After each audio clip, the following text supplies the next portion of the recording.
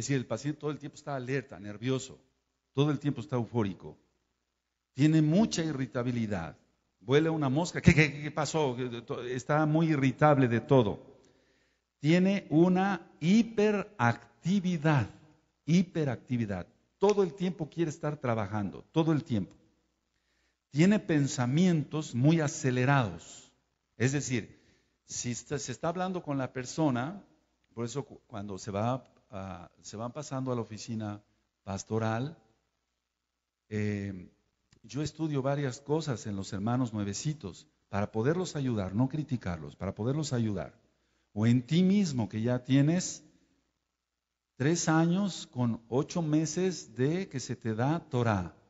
Ya revisé las fechas bien, empezamos el 2006, todo 2006 fue Torah ya, 2007 Torah, 2008 Torah y los ocho, ocho meses romanos que llevamos, vamos a decirle así, por así explicarlo, Torah, tres años con ocho meses. Cuando la persona no ha podido superar, no crece espiritualmente, es que algo está estorbando ahí y probablemente tenga un trastorno bipolar. Pero no es una enfermedad física, como lo voy a explicar en un momento. Entonces, los pensamientos acelerados es que se está platicando con la persona y él ya está pensando en la idea que viene. Sí, es normal pensar en la idea que viene de lo que se va a seguir dialogando, porque si no, entonces habría lapsus o tiempo de que la persona está platicando y, nos quedamos quietos, ¿no? A ver, ahora qué vamos, de qué vamos a platicar. Eso, eso es normal en cuanto a pensar la idea que ya vas a decirle al, al hermano, a la hermana, a la otra persona. Pero no es normal que haya 10 o 20 o 25 pensamientos acelerados antes de lo que se va a decir. No sé si me estoy dando a entender, hermanos. Vamos bien. Hay grandiosidad, grandiosidad. Que eso tiene que ver con el orgullo que yo voy a ministrarles después con mucho gusto, mis amados. Entonces la persona se siente muy grande, siente que ni el piso la merece, pues. Y entonces, por más que se le ministre orgullo a esta persona, tienes que ser humilde, no seas orgulloso, déjate de tonteras, etcétera. La persona no entiende porque tiene un trastorno bipolar. Y como el amado Roe, el amado pastor, que no es médico, no se da cuenta, entonces, porque no es médico, no le toca a él, eh, todo el tiempo está pensando que la persona es un rebelde, etcétera, etcétera, etcétera.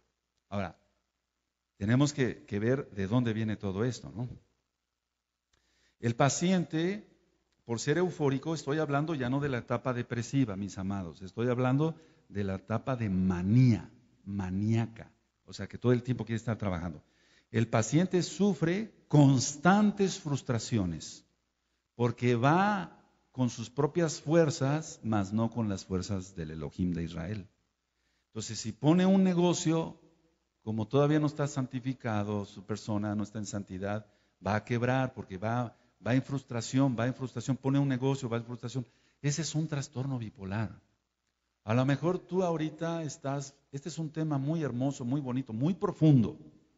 A veces acaba en catástrofe por suicidios, ¿no? Pero vamos, es un tema, digo, muy bonito en el sentido, tú puedes decir, pero qué de bonito tiene esto porque se puede ayudar a las personas sin medicina y con la palabra del Eterno nada más, empleando liberación demoníaca en el nombre bendito de Yahshua HaMashiach.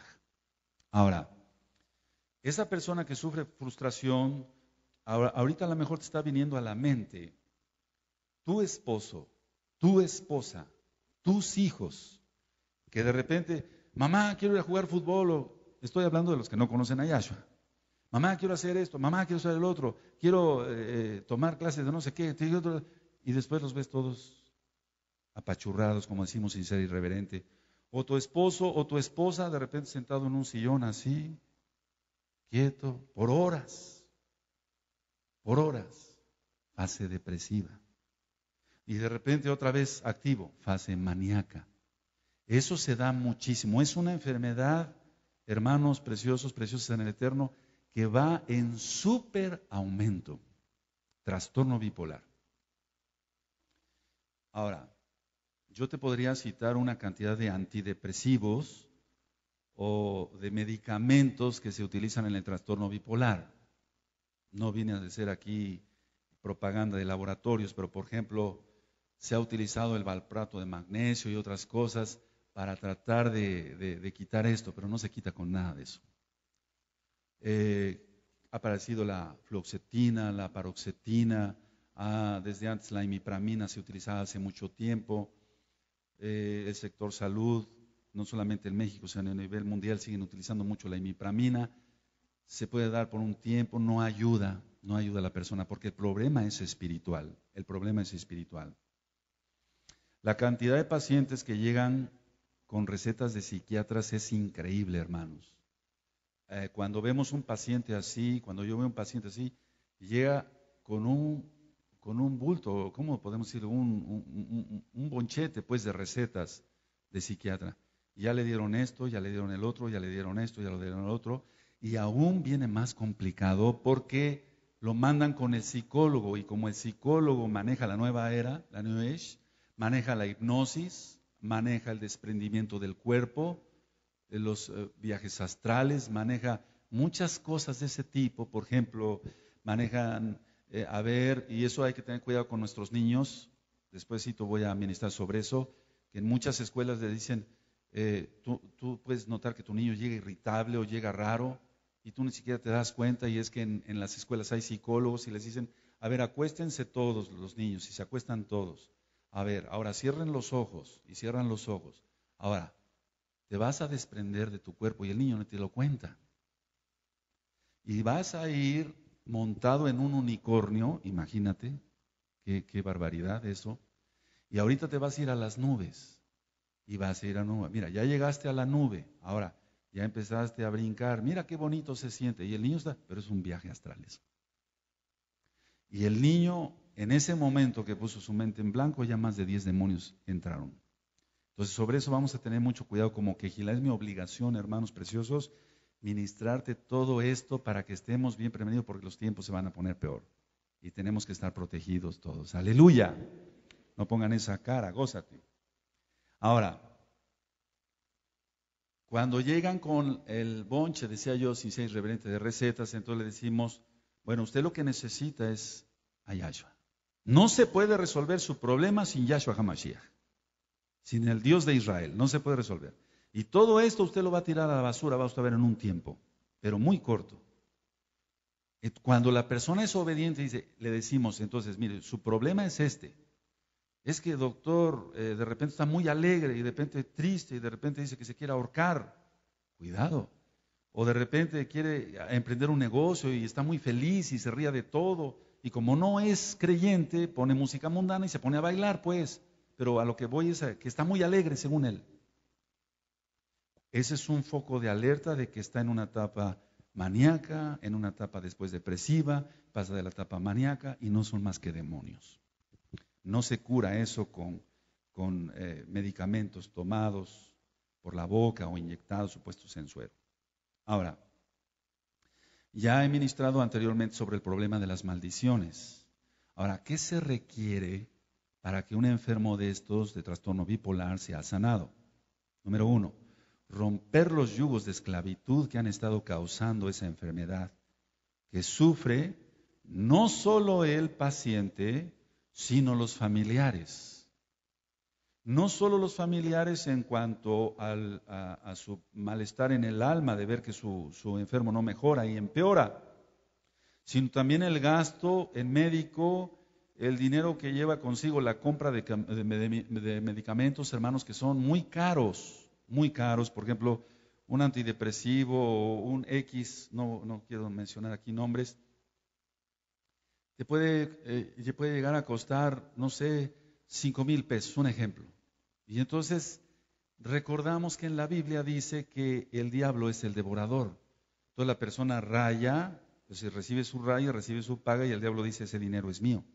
Gástalo en este medicamento para que se le quite la etapa maníaca, se le quite la etapa depresiva, etc. Entonces el paciente va con el psiquiatra o con el psicólogo o con el neurólogo, ahora ya hay neurólogos, neurólogos psiquiatras, etcétera. Hay una cantidad de especialidades, pero no sirve eso en sí para resolver el problema, porque el paciente queda atado a los medicamentos y si no los toma, entonces empiezan peores las, molestias, no solamente las, eh, decía yo, las de la manía, las de la depresión, sino las somáticas. Somáticas, cuando yo digo somáticas, ya quiere decir que es algo que realmente le está doliendo en el cuerpo. Ahora, en esta quejilá hemos tenido la experiencia de tratar estos casos por medio de liberación demoníaca, vuelvo a repetir, porque la causa del trastorno bipolar no son más que demonios. Y vuelvo a repetir, más de un médico se va a reír con este audio, pero yo le pido, eh, estimado colega, que haga usted un alto y reflexione. ¿Le han curado a sus pacientes los medicamentos que usted le ha empleado? ¿Verdad que no? ¿Verdad que siguen empeorando cada día más? ¿Verdad que no ha encontrado usted eh, la, cura? Entonces, permítanos ministrarle la palabra a usted, la palabra del eterno Yahshua HaMashiach, y entonces verá usted la gloria de Elohim, porque esos casos solamente son sanados por milagros de nuestro Dios, nuestro Elohim, Yahshua. Ahora, como no son más que demonios los que están causando este trastorno, este trastorno, eh, decía yo que en Shemot, en Éxodo 20, las, las, maldiciones llegan hasta la cuarta generación. Nosotros hacemos una historia clínica y dice, sí, sí, tal vez no, mi papá no, pero mi abuelita sí padecía esto. Era muy depresiva y de repente dicen que estaba muy alegre. Yo conocí, como he tratado, eh, Gloria a Yahshua Hamashiach, mucha gente, como médico, dicen, eh, organizaba fiestas X, ¿no? Cada, cada semana, cada semana.